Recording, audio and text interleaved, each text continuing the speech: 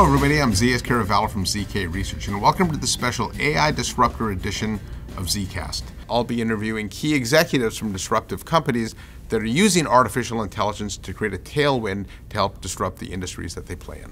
Today I'm joined by Jayshree Ullal, CEO of Arista Networks. And Arista is an interesting company because they actually disrupted the network industry uh, when you were founded almost 15 years ago now, right? By using software as the disruptor. And today you're looking to do it again with artificial intelligence. Uh, so, Jayshree, before we get into this topic, just a quick introduction on yourself and Arista. Zeus, you need no introduction, but as you know, you and I go back way, way, way long ago. Yeah, way back. Back, back when the market for networking was practically zero, and now it's 150 billion or so in the TAM, maybe doubling with AI. So I've been involved with this industry not just in years, but in decades. And when Silicon Valley truly was built out of silicon, and I got a chance to build some of these networking chips, and now in networking, man, I feel like we've gone from an evolution to a revolution. So it's great to be here and great to have this discussion with you. Yeah, it's been interesting watching the evolution of networking as well because I think, uh, you know, prior to being an analyst, I was actually a network engineer. And in those days, nobody really thought of the network as a strategic asset.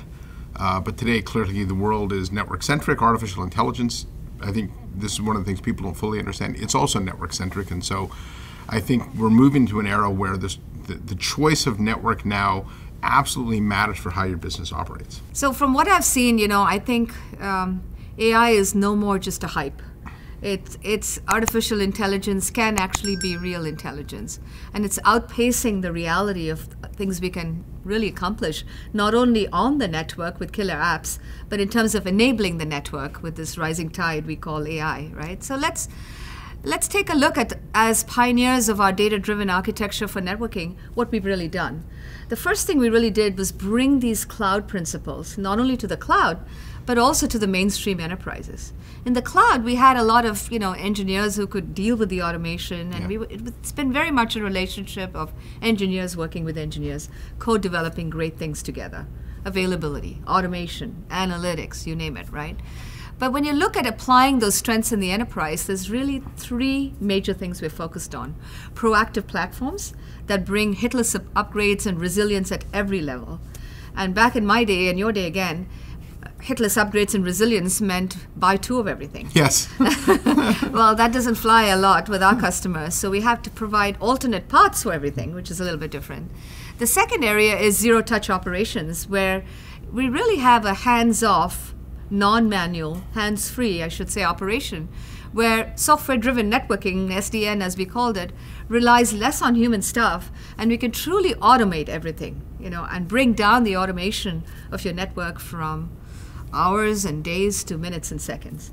And the third is this prescriptive insights, where once again you can use AI and ML to really assist. We call this autonomous virtual assist, and it can bring increased security, observability, and root cause analysis. Yeah, that's uh, in fact the, the evolution of networking along those lines to be more automated, more zero touches is a relatively recent phenomenon where you think of other parts of IT have been have embraced that you know, a decade or so ago, and it's uh, it's it, has been interesting to see networking in some ways catch up to where no, the rest you're of absolutely right. Sometimes I feel like, why am I making this old thing sound new? But it's new to networking. Yeah. We, we always had one software for backbones, one for branch, one for campus, one for data center. And the ability to bring from client to cloud across multiple customer sectors, one OS, one management entity has earned us the top spot at both Forrester and also Gartner with the voice of customers. So we feel very proud of it because I think it is a architectural shift for networking, yeah. but as you rightly point out, not so new for the rest of the industry. Yeah, so the hot topic today uh, is obviously in, in, in any part of IT, no matter what event you go to, is artificial intelligence. Now, from an infrastructure perspective, there's a lot of media focus on the GPU, right? And that's stolen a lot of the headlines and a lot of the the industry tailwinds. And of course, this is GTC week. Uh, and I'm expecting 75,000 attendees, wow. I think, in total there. Yeah. Uh, so, but it is worth noting, though, that the network does play a critical role in AI. Now, the impact to networking is twofold, right? There's AI for networking and networking for AI. And I know you talked about that last investor day, but if you could go into some detail on what those two are and how they're different, that'd be great. Very well said. I love it. Networking for AI and AI for networking. That's great. Well, as you know, artificial intelligence is already a key tool for us. Through our Awake acquisition, we developed this AVA, Autonomous Virtual Assist, and we have natural language processing techniques and very high fidelity to improve and assess threat mitigation, root cause analysis, observability that you, you wrote about our numero uno launch, yes. right? Um, so this was great. Now there's networking for AI, which is really, like you said, making these GPUs come alive. By the way, I don't know why the G in GPU still stands for graphics. Graphics, I know. Yeah. Shouldn't it be APUs or something like that? Yeah. But anyway, we'll leave that alone. What is it? It's accelerated computing. Right? Is that what it is? Yeah. The A? Okay, perfect. Yeah. So slow or poor performance in GPUs and AI means lost revenue, right? The job completion time is huge and it's driven by this frequent, intense, computational, data intensive communication, where the AI training, which is the killer app, depends on these large language models and how quickly you can complete the job cycle. A good network is critical to make these GPUs hum because if you look at the total GPUs and you reduce uh, the um, efficiency time by 30% and you have 30% idling, you got millions of dollars of GPUs now idling. And a good network more than pays for itself if you can avoid yeah. that. Yeah, it's funny because the relative cost of the network is pretty small when compared to what companies are spending on their AI infrastructure. I, I did see a chart uh, once, I think it was at an NVIDIA event actually, where it showed a, a pie chart of the data scientist day, and it was start your model, go get coffee. Check on model, go get coffee. And I think your point on the downtime that happens or the idle time uh, especially when you think about what you pay data scientists, is really the killer for companies, and it makes it takes AI from, from something that is transformative to something that just costs companies millions of dollars. You know, coffee's cheap, but those GPUs are expensive, right? So I want to just get a little down and dirty and techie with you for a moment and say there are three things in the network you can do to make those GPUs come alive. The first is add a lot of scale, right?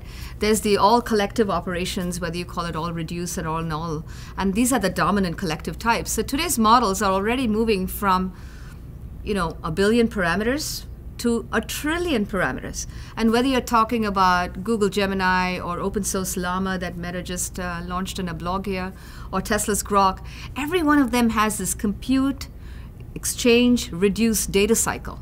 And the volume of data exchanged is so high that any sl slowdown in the network performance is, is really damaging to the AI application. So I'm going to take us back to history again. I'm reminded of the old days in the 1990s where we did spanning tree. Yeah. You know, we don't talk about spanning tree and loop formations anymore to eliminate that. But that eliminated loops and created network scale at multi-megabit rates.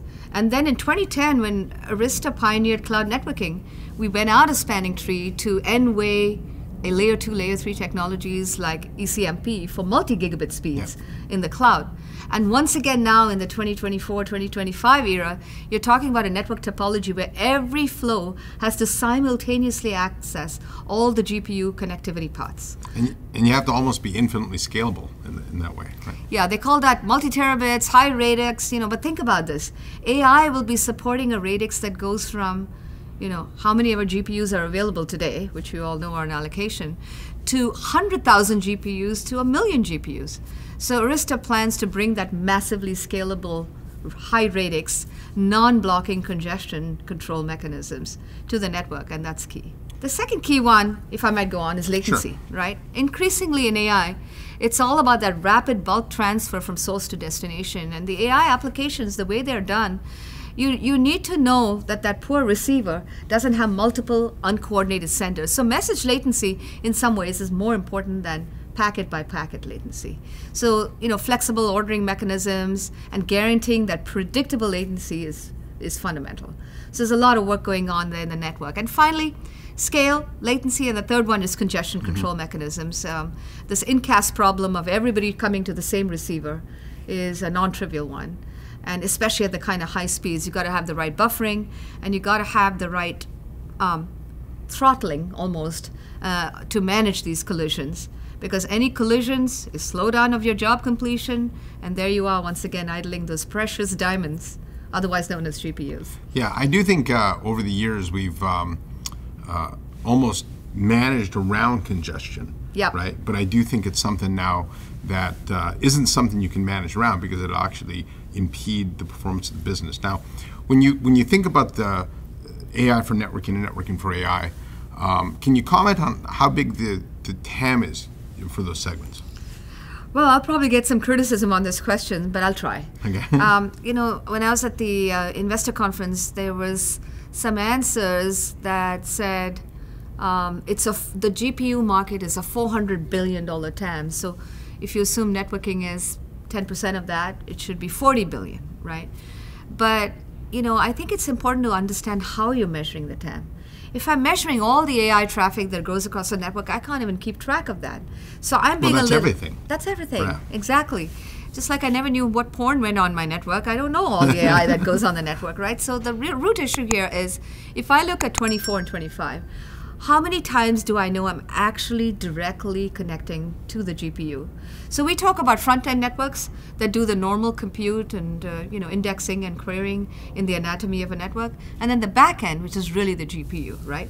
And over there, I think the the TAM is twofold. First of all, it's not just the GP, GPU connection, but there are a lot of small networks that are still connecting to PCI Express or CXL, and then there are medium networks that are connecting to traditionally familiar technology like InfiniBand.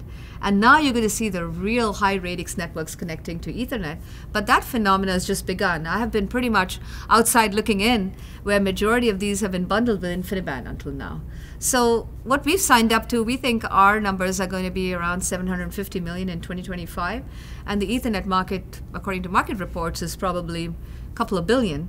But obviously, you know, uh, multi-billion in the future. So Yeah. tens of billions in the future. Yeah, so that'll be an interesting thing to watch uh, because every company does have a different definition of it, and I and I do agree with you. Just because you're passing AI traffic, um, it doesn't mean that's networking for AI, right? And so I do. It's going to be uh, to, to me, the, especially from an investor standpoint, to be able to cut through what one vendor says versus another to be able to create somewhat of an apples to apples comparison.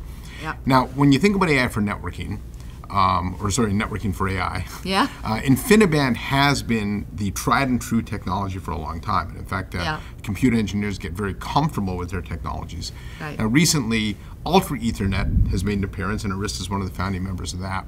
So I've heard the argument before, uh, back decades, that Ethernet would eventually uh, displace InfiniBand, and it hasn't happened. So can you explain why it's different this time? No, that's a good, really good point. First, I want to say InfiniBand is very, very good for HPC clusters. And I, generally speaking, was in the past lower latency and higher performance. Ethernet was always a little behind because it didn't need to be high performance. It was good enough performance for Yeah. mainstream networks. Well, in fact, uh, Ethernet was built on the concept that good enough is all, all you need, right? Exactly. Yeah. And, you know, Ethernet was working on collisions and how to remove them and become a distributed switch, etc. But Ethernet, at the end of the day, as you and I know, always wins over Ethernet technologies, as Bob Metcalfe calls Yeah. it, right? Because it's you're building it over 15 to 25 years. In fact, I think it just celebrated its 50th anniversary of distributed control plane, open standards, a huge amount of tools, billions of installations, and one more point: it's highly connected with IP. So if you ever want to connect your back-end network to your front-end network, you don't have to reinvent an adaptive routing or create proprietary protocols to do that, right? So high availability standards, all of this is possible with Ethernet and the associated IP. InfiniBand is a vendor one. It was defined by the uh, InfiniBand Trade Association, and there was a lot of work that went into H- HPC, but you know, take a look at its routing mechanism. It's not IP. It's defined by single, single subnet manager. If that subnet manager goes down, the whole network goes down. It's brittle. So it can be great for small networks that are 256 nodes or whatever, but in general, you wouldn't bet your career on these large training models unless it was the only choice. And good for us, Ethernet is once again improving and living up to it, its billing and going one more step for 400 and 800 gig. Yeah, I do think at a minimum customers want choice.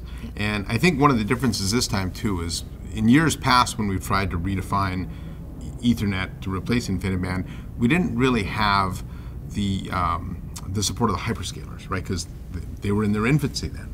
And I think in, in, in a lot of ways, those are the companies now that are driving a lot of the change. So.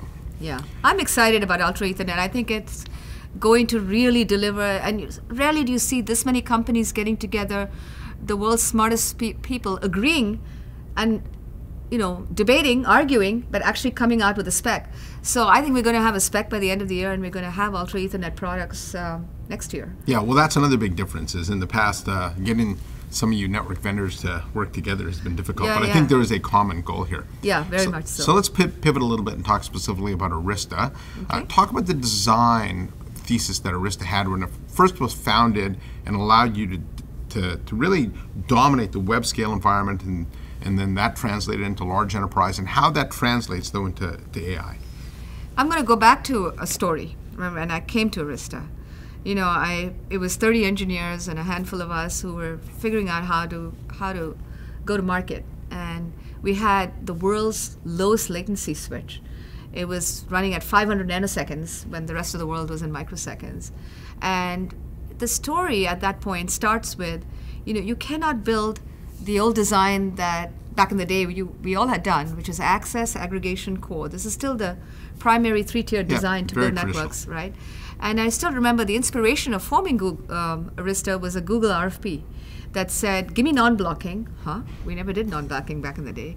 You know, give it to me in a two-tier architecture for thousand to ten thousand nodes, and oh by the way, give it to me at ten gig for hundred dollars a port. Not a single vendor, including Arista, who wasn't born there, could do, do that. But it inspired us to think of what's going on, what's wrong, and Google had to go off and build their own.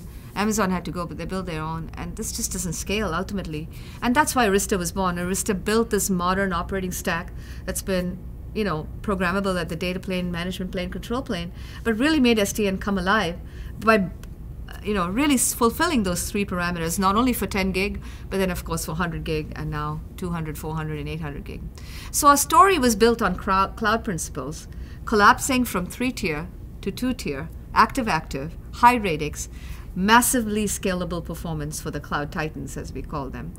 Now, now we can do the same not only for the front end of the network, but we can we can bring those same concepts for AI to the back end, and so we can you know explode those rail-based designs across multiple planes, and carry sort of an M by N plane where you can not only build a leaf spine network, but you can carry it across one rail or two planes or three planes all the way to eight planes and significantly once again improve the radix so i think the beauty of our architecture is it's not brand new anymore. It's the same os it's the same network data lake architecture that's data driven but now we can pull it from the front end all the way into the back end to connect to compute and storage and of course gpus And uh, give a little more detail on the data. Obviously, when it comes to AI, data is a critical component of uh, AI prowess, right? Being able and uh, I know Arista has uh, been managing network data for you know since you were founded. So Right. so talk about though.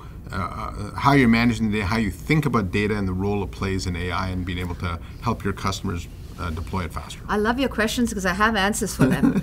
but so thank you for that. But you know, there is no AI strategy without a data strategy. And a data strategy has to be the way you think of your platform and architect it right from the beginning. And so I like to say you you said our company was 15 years old, but I'd like to tell you our fifth software is 15 years new because we've gutted the foundation three times already. Hmm. We started with a publish subscribe model that we call SysDB, where you know anytime there's an agent and an agent fails, we can automatically see that that agent has failed and do fa- automatic fault containment, fault repair, and spin up an agent. Then we went to NetDB where we could do this network wide across all our switches. And then in this last, I think, when was it? November 2022, we added a network data lake architecture and built this data driven platform. And this flagship software has this network data lake foundation, right? And this data strategy allows us, it's well underway, because now you're not just connecting the network, but you can bring flow data, you can bring structured data, you can bring unstructured data, and you have this continuous integration of CI CD principles. And not only can we connect our products to each other through for our customers, but third, third party ecosystems can also benefit from this. So, you know, people talk about a platform, Arista built a platform, and now we're seeing the use cases come to us for that. Yeah, when I think about what makes Arista unique in your ability to service AI, to me, it is that data lake. When uh, there's an expression in data sciences that says good data leads to good insights. Uh, the, if that's true, then the corollary is true. where silos of data leads to fragmented insights. And I, when I think of your peer set, a lot of your competitors are built on acquisitions, they have different product teams, and so the structure of the products is different. And so ostensibly what they have is a bunch of silos of data. Yeah. And so if you can't bring that together under one data set, I'm not really sure how you would actually do effective AI across the network. It's very tempting to do acquisitions. But one of the first things you have to do, even when you do an acquisition, is understand their role in connecting to our foundation. And often we find that that's that if you don't make that pivot fast, then you end up doing the same thing you just described, which is creating more silos. So, so you know whether it's an acquired company or whether it's a brand new product, you know you have to take a deeper look at the strategy, whether it's for AI, data center, campus, WAN, and make sure that all of these behavioral patterns and insights, as you called it, are, are visible and you can act upon it. The ability to, to action, actionably do something with them is equally important. Yeah, now you're a very technical CEO, which is one of the reasons why I like talking to you. So uh, let's take a deeper look, though, at the anatomy of an AI compute node to help understand the role that Arista and the network plays in that environment. Yeah, you know, I um, I get excited about this. I think you do too. And you know, uh, hopefully a CEO doesn't mean we suspend our brain and just talk about blue sky or, you know, financials. But um, when I look at a standard server, a standard compute server, it's generally a two-socket or a four-socket server. The CPU as we know it, right? And I think the CPU is the basis still of a lot of our front-end networks. That's not changing. Intel, AMD, they're all benefiting from that. But now it's becoming the back-end control as well for a lot of your uh, planar, effectively indexing, querying, etc. But then the centerpiece of the backend for AI, which is, I think, new to all of us, but what I'm now discovering is a thing of beauty, is this fleet of GPUs. All of them have to handle these model parameters. And by the way, we talked about a lot about training, but this is going to apply to inference yeah. too. Today we're taking the highest problem, which is training. Then there's the question of okay, what is the role of a server? You got the CPUs, the GPUs, but then you need to get out as fast as you can outside the server into the network so you can connect all of these GPUs. Because within a server, you might be able to connect 8 or 16, but you can't go too far. So that's where the connection to the NIC or the network interface card through PCIe or CXL or any kind of server comes in. And finally, there's the top piece, which is that high radix AI spine or leaf spine or over over time we'll be building a distributed ether like etherlink spine that's UEC compatible, where you can have these large scale out collectors for a fleet of GPUs. So I kind of see this as a tiered architecture, and the faster you get out as a server and build a scale out network, the more efficient those GPUs will be. All right, Jayshree, I think this uh, takes the end of time. And let me sum up this. So, um, uh, you were built on software principles, right, for the Cloud Titans. That's roughly the same architecture used for AI clusters, but you're managing latency, congestion, and massive scale. Yep. Right. You're taking uh, you've taken your data into a data lake that allows you to do AI faster, more accurately than your competition, and then you're able to drop that into an AI cluster using Ultra Ethernet or even regular Ethernet right. to allow companies to build out these networks for AI faster. Anything else you want to add? I love it. Beautiful summary, Zeus. Thank you for having me today. It was no, great. Thank, thank you. It's always a pleasure, pleasure. talking to you. Yeah, absolutely. Thanks. So Jayshree Ullal, CEO of Arista Networks, thanks for joining me on this. I'm Zeus Kerravala from ZK Research, and thanks for watching. Please hit that subscribe button, and I'll see you next time on the next episode of ZKast.